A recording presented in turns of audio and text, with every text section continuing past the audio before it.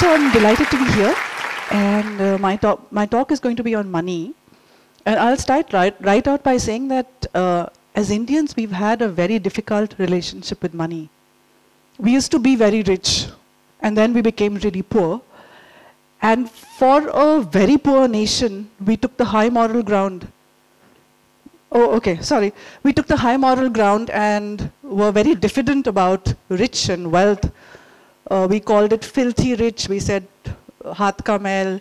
You know, so if you don't have something, it's, it's, it's okay to say it's something that we didn't want really. But that relationship began to change over time, and nothing shows the relationship of anything. The reflection really is Bollywood. And our relationship began to change. This is the 1950s and 60s. We were still very poor. The money lender was this evil guy. So Bollywood would have those movies about the bad money lender. Look at, look at This is Mother India. Look at the face of the guy, right? Then come the next, the 70s. The 70s was about this gold smuggler, Amitabh Bachchan, the Ajit, and uh, they were still evil people. You couldn't, you couldn't earn, you couldn't become rich the right way. You had to be a bad guy. And then the 80s and the early 90s and 80s, where it was now the evil corporation who was extracting value out of uh, workers, the poor factory workers. But notice already the poor have begun to be better dressed. They are more aware of their rights. Then liberalization happened. 200 million Indians got pushed into middle class. And turn of the century, you had this movie called Dil Chahta Hai. And really, this was the first movie that, you know, showed wealth as being something part of the movie. It wasn't, people weren't being diffident about their wealth. And you had the heroine drinking wine, and she was not a bad girl. And then the 20 teens was this explosion of creativity in Bollywood. But the final, I think the peak was Gully Boy and the boy who wants, he wants it all, not because of a dying mother or a marriageable sister. He wants it for himself. And he's saying, apna time aega. So there has been a whole shift in our relationship with money. But the way that we manage money is still very 1970s. Right? We still do um, insurance, we do real estate, and we do gold. We are still, um, we are still very 1970s with our money. So today I'm going to give you, in the next 15 minutes, five rules of money, and it's a largely young audience, and uh, I would want you to pay attention to some of the details of this conversation. Rule one, you have to split your money between savings, and spending. It's a very basic rule. It almost sounds too easy to do. But a lot of us do end up saying that we don't know where our money goes. Making budgets becomes very boring. So what you do is you have three accounts. As you start earning, you have more money, you start with building three accounts. The first account I call my income account. Every, every infusion into that account, into, into my life goes into my income account at the beginning of every month, you move a certain part which you think you're going to spend into a second account. You call it your spend it account. And there's a third account, you call it the invest it account. And you're moving money into that, the money that you're not going to spend. Essentially, you're trying to find a way to split your savings from your spending.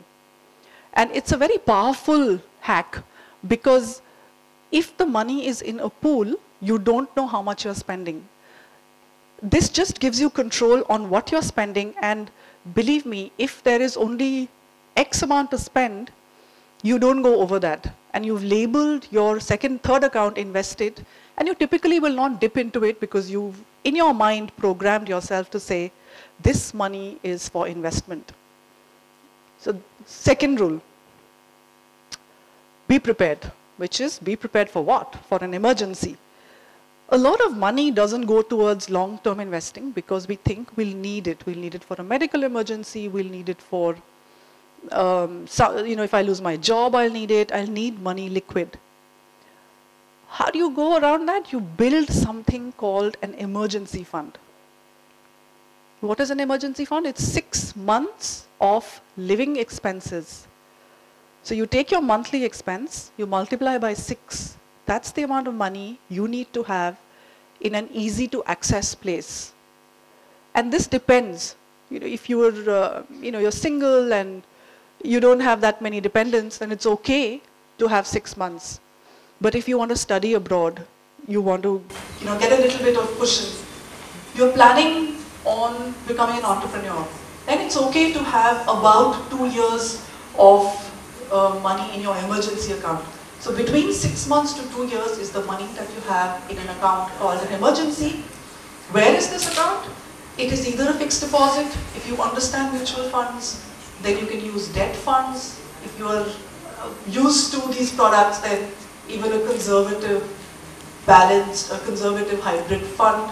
We will come to that in a minute. So that's first rule, you separate savings and spending. Second rule, you build an emergency fund. Third rule, insurance is not an investment. India has, look at the number of zeros. We have 35 trillion rupees as in insurance products, life insurance products, which is a bundled in life insurance plus investment. These are very poor products for both insurance as well as investment. The return that you get is between 3 to 4%. You get more return in a fixed deposit or a PPF. Why, and why do I say that these are really bad products for you to have? Because they're traps. And this is how they're traps. Suppose your premium is 1 lakh. The the commission on this product is 35,000 rupees. Out of 1 lakh, 1 lakh minus 35,000 goes to work, 35,000 goes to the agents as commission, which is why the products are hard sold. But the story doesn't end here. So you pay one premium and you figure that you don't want to pay the second premium. What happens to your 1 lakh? What do you get back if you decide not to pay the second premium? Zero. The rules are such that you get nothing back. These are long 20 year products. You've bought the first year. You change your mind second year, you get nothing. You change your mind the third year, what do you get? Zero. So, the, so you go on like that. After five years, you've paid the fifth premium. You've paid the fifth pre premium. In the sixth year, what do you get back? Half your money. You've put in five lakh, you're getting only two and a half lakh back. You have to stay invested in the product for that 15 years to make a 3 to 4% return. It's a bad deal. So you do not, you do not buy bundled insurance products. Insurance is not investment. The fourth rule, get real about real estate. Indians love real estate, but it was in the 70s time when financial products were not there. We have to do a full costing of what real estate returns really are. If you do the math, 5 lakh goes to 1 crore, but over what time? Over 20 years, your average annual rate of return, we call it the CAGR, the compounded average annual rate of growth, CAGR, is just 12%. So you have to understand, and this is the return without building costs of real estate in the stamp duty, the maintenance, the property tax, all of that if you build in, the returns are far lower. It's a very emotional thing to buy real estate. Um, but when, especially when you're young, do not rush to put money into real estate as investment. And even if you want to you know, live in a place, look at the rent versus EMI math. Rent that you pay is 10,000 in a place that you want to stay the EMI is going to be 7 to 10 times of that. 1 lakh would be the EMI. In good markets, in markets which don't have so much of noise, the rent and the EMI number are not that far from each other.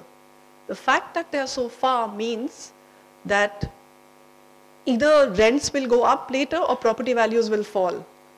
In, in, in the Indian case, property values will fall because the because of the next metric that you look at, which is yield. Now you're buying real estate because you want, you want that to be an investment and all your fathers and grandfathers and uncles have said, real estate is the best investment. Okay?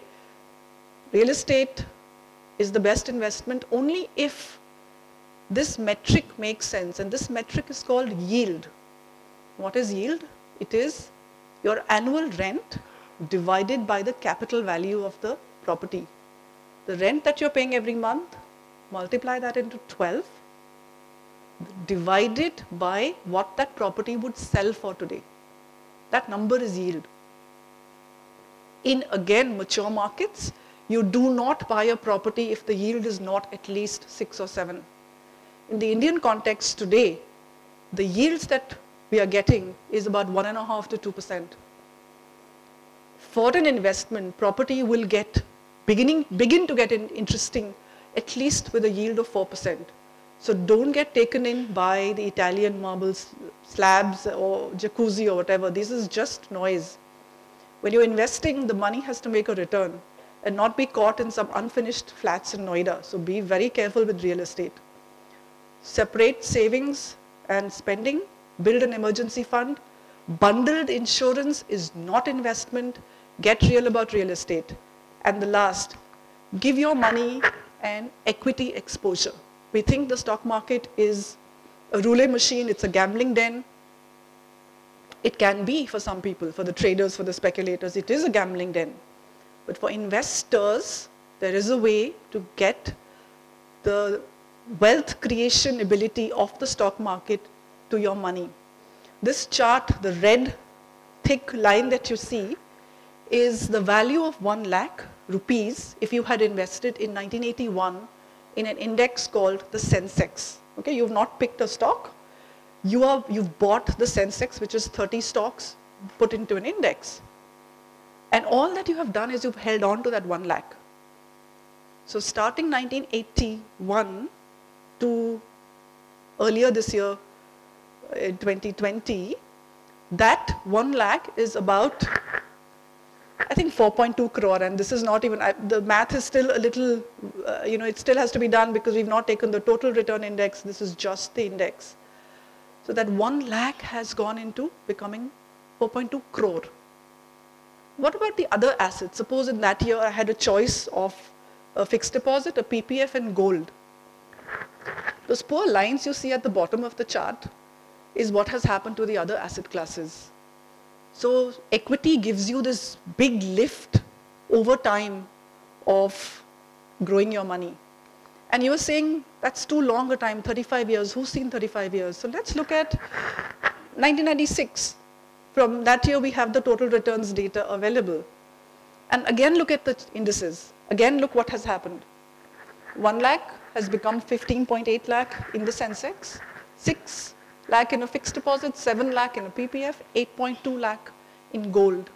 So you're, you're, the idea is to stay ahead of inflation in the investments that you make long term. Remember, we freed up our money to go long term because we built that emergency fund.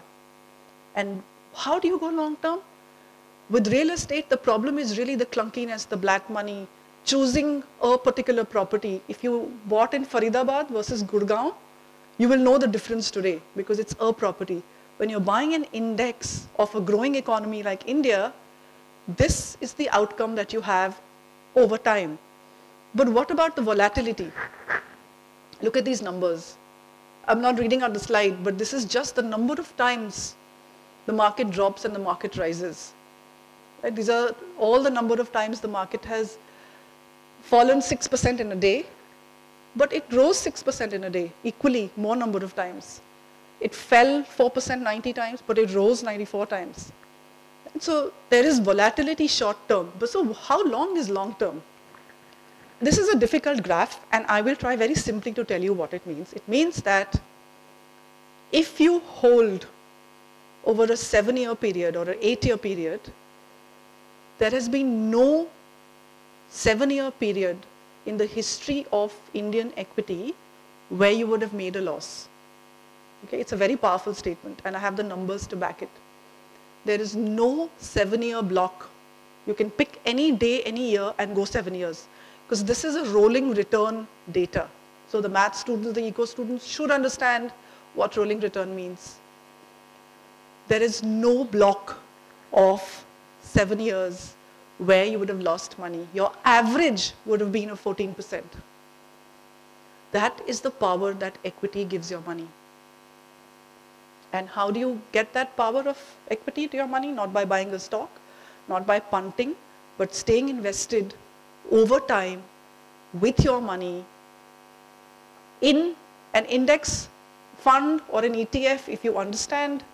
Um, if you don't understand mutual funds, if you understand mutual funds, the route really is to go to a diversified portfolio and not buy single stocks.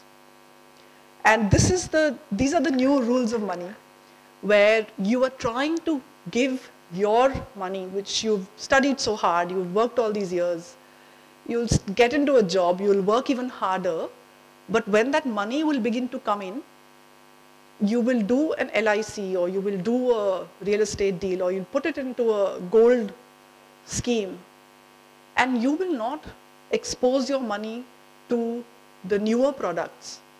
So I just leave you with this one thought, कि हम हैं नए तो अंदाज क्यों है पुराना? So on board the new way of having financial control. Thank you.